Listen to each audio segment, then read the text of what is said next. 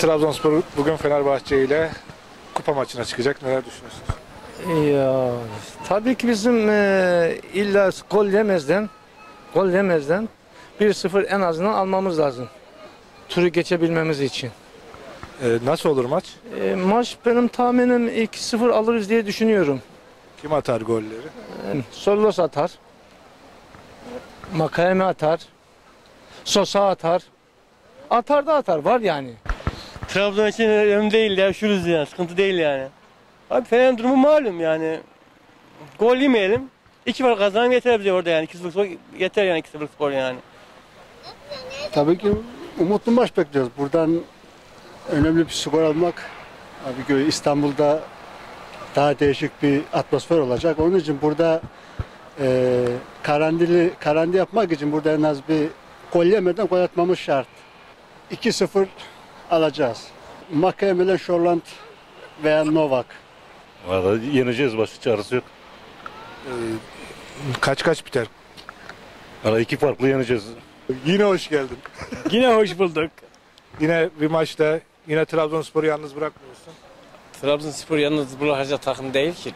En büyükler, dört büyüklerin en büyüğü. Çünkü hangi takım buraya geliyorsa, yeniyorsak başlıyorlar İstanbul'un semt takımları şampiyon, Sivas şampiyon diye bağırıyorlar. Demek ki çok büyük takım ki güçleri yetmiyor. Başka söyleyecekleri o kadar yani.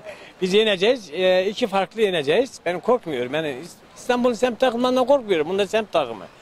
Trabzonspor'umuz yenecek inşallah.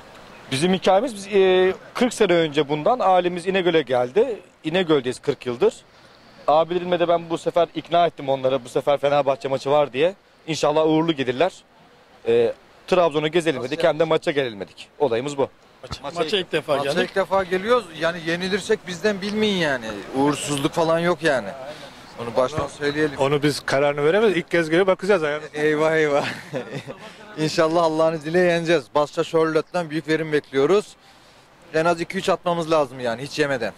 3-1 kazanırız diye düşünüyorum ben inşallah. Allah biz maç etmeye geldik. İnşallah başarılı oluruz diye düşünüyorum. Var mı skor tahmini? 2-0 Trabzon alır diye gönlümüzden geçiyor. Kıbrıs'tan geliyoruz. Maç için mi? Evet. Trabzonspor Fenerbahçe ile kupa maçına çıkıyor. Nasıl bir maç bekliyorsun? Ee, şu an Fenerbahçe ziraate odaklanacak gibi gözüküyor. Çok bastıracak. Ama bizim şu an tarihi bir başarı elde etmemiz için hem ligi hem ziraati kazanmamız lazım.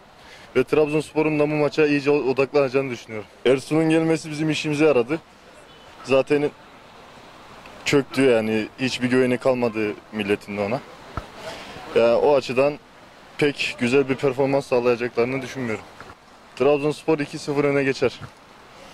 Ee, goller? Goller tabii ki de Charlotte ve Vakayeme. Kıbrıs'tan, Kuzey Kıbrıs'tan. Evet. Ee, maç için geldiniz. Aynen. Nasıl bir maç bekliyorsun? Biz mutlak galibiyet ya. Ligde çok iyi bir ilerliyoruz. Güzel bir ilerleyiş var. Şampiyonluk bekliyoruz. Aynı şekilde ziraatta da bir şampiyonluk. Yani 2010-2011'den sonra bir şampiyonluk daha görmek istiyor bu takım. Yani ben ilk kez geliyorum Trabzon'a. Daha önce hiç gelmedim buralara. Yani biz görmeden aşık olduk, hissetmeden aşık olduk. Hep buradaydı zaten. Bugün de inşallah inşallah bugün de güzel bir galibiyet alırız. Mutlu eder bizi takım.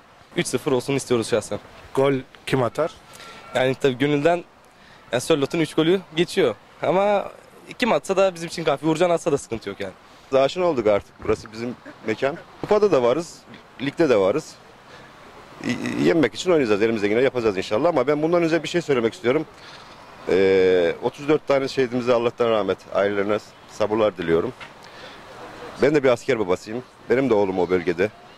Görev yapıyor şu anda.